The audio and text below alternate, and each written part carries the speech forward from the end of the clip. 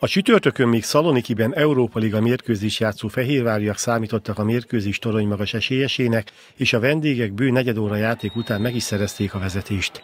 Ene rúgta meg Négót a 16-oson belül, a megítélt büntetőt pedig a sértet váltott gólra. A 26. percben egyenlített a házigazda, Prot is lőtte be a labdát a fehérvári kapu elé, Sassá pedig fialát megkerülve látványos mozdulattal fejelt a kapuba. A gólt követően is ment előre a kisvárda, de újabb találatot a Vidi szerzett, egy gyors támadás végén Fiola beadását, míg kifejelte Melnyik, a lehulló labdát azonban Pátkai a kapuba alsó sarkába lőtte. A második félidőben Dajka László együttese nagy erőket mozgósított az egyenlítésért, és az erőfeszítést a 74. percben sikerkoronázta. Lukász labdáját Protis lőtte be középre, és az Ilics elől menteni akaró Stropira lábáról saját kapujába pattant a labda. A hátralévő időben már nem született több gól, így a Kisvárda három vereséget követően egy nagyon értékes döntetlennel szerzett ismét pontot. Ezt lehetett látni, hogy a videóton az milyen játékerőt képvisel. Tehát ezt tökéletesen láttuk, tisztában vagyunk vele.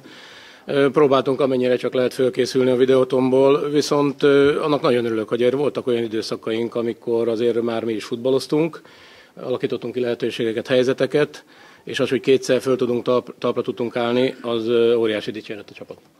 A vendégek edzője szerint a vezetés megszerzése után egy újabb góllal le kellett volna zárniuk a meccset. Congratulations for Kishvarda for winning a point tonight. We lost two points.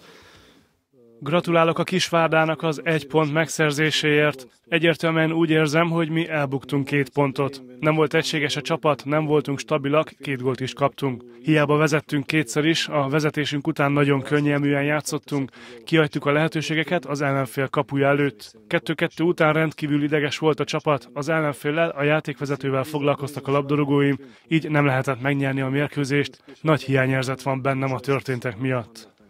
A forduló további eredményei a következők, MTK Budapest Újpest 1-0, Debrecen Puskás Akadémia 2-1, Diósgyőr Ferencváros 1-4, Szombathely Budapest Honvéd 0-1 és Paks Mezőkövest 2-1. A tabella élén a 27 pontos Ferencváros áll, megelőzve a 23 pontos Honvédot és a 21 pontos MTK-t. A 9 pontos Kisvárda a 9. helyen állva várja a szombati fordulót, amelyben a Honvéd érkezik majd a Várkerti stadionba.